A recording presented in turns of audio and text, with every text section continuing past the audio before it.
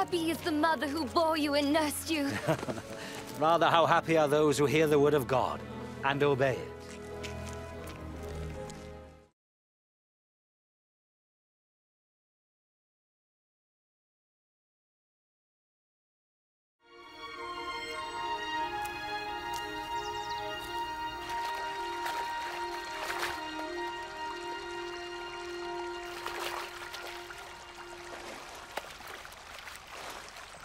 Teach us to pray, just as John taught his disciples. When you pray, say, Our Father in heaven, holy be your name. Your kingdom come. Your will be done on earth as it is in heaven. Give us day by day our daily bread. And forgive us our sins, for we also forgive those who sin against us. And lead us not into temptation, but deliver us from evil.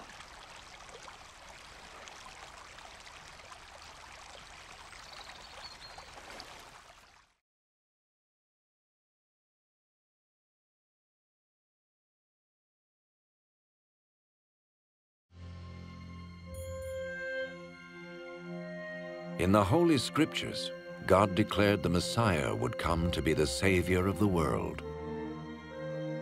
The life of Jesus gives evidence that he is indeed the one the prophets spoke about. Isaiah prophesied that the virgin will conceive a child and will give birth to a son. Centuries later, the birth of Jesus was the fulfillment of that prophecy. The Holy Scriptures declared that the Holy One to be born would be called the Son of God. This means that Jesus was to be called the Son of God in a spiritual sense. We see this in how he lived his life. He healed people from disease, forgave their sins, turned them back to God, and promised them a place in God's eternal kingdom. He offered himself as a sacrifice for sin in their place, and then rose again, conquering death. Jesus said, No one can take my life from me. I lay it down of my own accord. The life of Jesus not only fulfilled the writings of the prophets, but also confirmed the truth of God's holy word. The prophets declared, The word of the Lord is flawless, your word, O Lord, is eternal. Jesus himself said, Heaven and earth will pass away, but my words will never pass away. Jesus came to give us life in all its fullness. But when man disobeyed God in the Garden of Eden, he chose to go his own way, and his actions separated him from the Creator. The Holy Scriptures declare that all have sinned, and the payment for sin is death. This means a spiritual death, eternal separation from God. But just as God provided a ram to die in place of Abraham's son, so he sent Jesus the Messiah to die in our place. His life, death, and resurrection restored the relationship between God and all those who put their trust in him. Now, those who follow Jesus not only have their sins forgiven, but are saved from God's eternal judgment. They are assured of paradise and will live with him forever. It is this life and freedom from the guilt and power of sin that Jesus offers each person today. This does not mean following a religion, but choosing to have faith in Jesus, who says, I stand at the door and knock. If anyone hears my voice and opens the door, I will come into him. This means turning to God and trusting Jesus to come into our lives, to forgive our sins, and to make us what he wants us to be. It is not enough to intellectually agree with his claims, nor to have an emotional experience. We receive him by grace through faith, as an act of the will.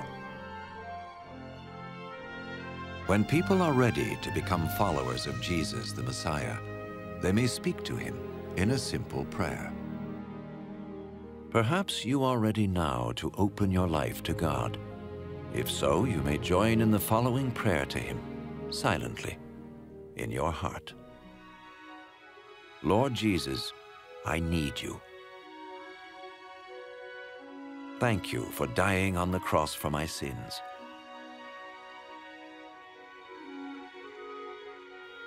I confess and repent of my sins.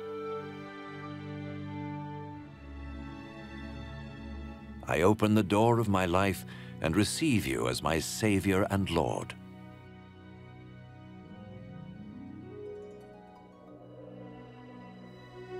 Thank you for forgiving my sins and giving me eternal life.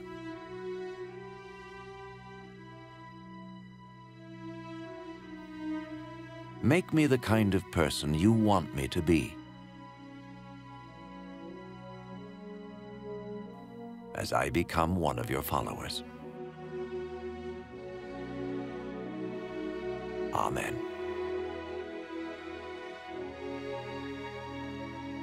Jesus said about his followers, My sheep recognize my voice.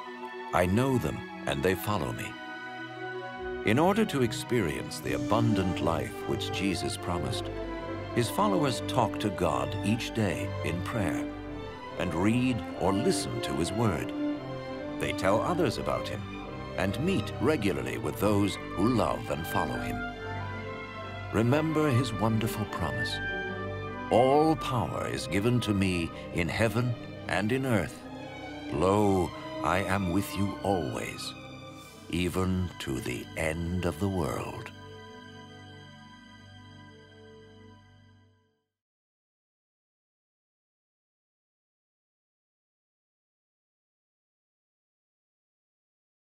Tuhan sekarang. Berbahagialah ibu yang melahirkan dan menyusukan Tuhan. Berbahagialah mereka yang mendengar firman Tuhan dan melakukannya.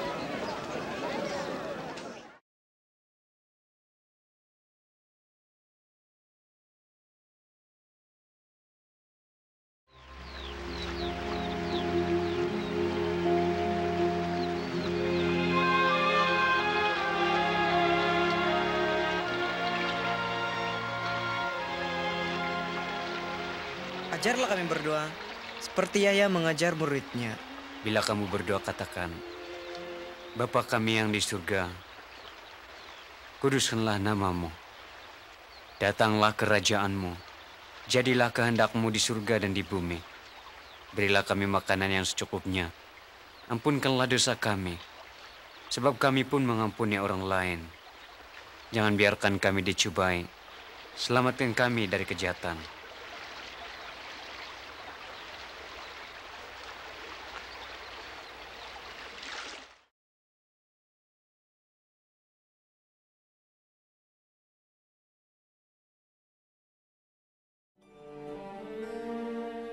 Dalam kitab suci, Tuhan menyatakan bahwa Mesias akan datang untuk menyelamatkan dunia. Kehidupan Yesus membuktikan bahwa dialah yang dikatakan oleh para nabi dahulu. Nabi Yesaya menubuatkan bahwa perawan itu akan mengandung dan melahirkan seorang anak. Beberapa abad kemudian, kelahiran Yesus telah menggenapi nubuatan itu. Kitab suci menyatakan bahwa anak kudus yang dilahirkan disebut anak Tuhan. Ini bermakna bahwa Yesus akan disebut anak Tuhan dalam pengertian rohania, bukan fisikal. Kita dapat melihat bagaimana dia menjalani hidupnya. Dia menyembuhkan orang sakit, mengampuni dosa mereka, dan membawa mereka kembali kepada Tuhan, dan berjanji kepada mereka tempat dalam kerajaan kekal. Dia memberikan dirinya sebagai korban atas dosa-dosa bagi pihak mereka dan kemudian bangkit mengalahkan maut. Yesus berkata, "Tidak seorang pun dapat mengambil nyawaku daripadaku. Aku menyerahkannya dengan rela." Kehidupan Yesus tidak setakat menggenapi tulisan-tulisan para nabi, tetapi mengesahkan kebenaran firman Tuhan. Para nabi menyatakan, "Firman Tuhan adalah sempurna." Firman-Mu ya Tuhan adalah kekal abadi. Yesus sendiri berkata, Langit dan bumi akan berlalu, tetapi firman-Ku tidak akan berlalu. Yesus datang memberikan hidupnya kepada kita dalam segala kepenuhannya. Tapi ketika manusia tidak taat di Taman Eden, dan mengikuti jalannya sendiri, maka ia dipisahkan daripada penciptanya. Kitab suci berkata, semua orang telah berbuat dosa, dan upah dosa ialah maut. Yang dimaksudkan adalah kematian secara rohani, terpisah dengan Tuhan selama-lamanya. Namun seperti Tuhan menyediakan domba jantan menggantikan tempat anak Abraham, dia juga mengutus Yesus mati bagi pihak kita. Kehidupan, kematian, dan kebangkitannya telah memulihkan hubungan antara Tuhan dengan mereka yang mempercayai dia. Sekarang, mereka yang mengikut Yesus tidak hanya mengalami pengampunan dosa, tetapi diselamatkan dari hukuman kekal. Mereka juga diberi kepastian masuk surga dan hidup bersama-sama Yesus selama-lamanya. Kehidupan seperti itulah, serta bebas dari rasa bersalah dan kuasa dosa yang ditawarkan oleh Yesus pada hari ini. Bukan mengikut satu lagi agama, melainkan beriman kepada Yesus yang mengatakan, Aku berdiri di hadapan pintu dan mengetuk. Sesiapa yang mendengar suaraku dan membukakan pintu, aku akan bersama-sama dengan dia. Ini bermakna kita kembali kepada Tuhan dan mempercayai Yesus masuk dalam hidup kita, mengampuni dosa dan menjadikan kita menurut kehendaknya. Tidak cukup hanya bersetuju secara pikiran maupun pengalaman emosi. Kita menerima Yesus melalui anugerah dengan iman sebagai tindakan kemahuan kita. Apabila seseorang sudah bersedia untuk menjadi pengikut Yesus yang adalah Mesias, mereka boleh bercakap dengan Yesus dalam doa yang mudah. Mungkin Anda sudah bersedia untuk membuka pintu hidupmu untuk Tuhan. Jika iya, Anda boleh mengikuti doa berikut ini dalam hati Anda. Tuhan Yesus, saya memerlukan Engkau. Terima kasih karena mati di salib untuk dosa-dosa saya. Saya mengakui dosa-dosa saya dan bertaubat. Saya membuka pintu hati saya dan menerima Engkau sebagai Tuhan dan Penyelamat. Terima kasih karena mengampuni dosa-dosa saya dan memberi hidup kekal kepada saya. Jadikan saya pribadi menurut kehendak-Mu. Sebab saya menjadi salah seorang pengikut-Mu. Amin. Yesus berkata kepada pengikut-pengikutnya, Domba-dombaku mengenal suaraku, aku mengenal mereka, dan mereka mengikut aku. Untuk mengalami hidup berkelimpahan yang Yesus janjikan, pengikut-pengikutnya harus bercakap kepada Tuhan setiap hari dalam doa dan membaca atau mendengar firman-Nya. Mereka menceritakan tentang Yesus dan bersekutu bersama dengan mereka yang mengasihi serta mengikuti Dia ingatlah akan janjinya yang indah. Semua kuasa di surga dan di bumi telah diberikan kepadaku. Aku menyertai kamu sentiasa sampai kesudahan zaman.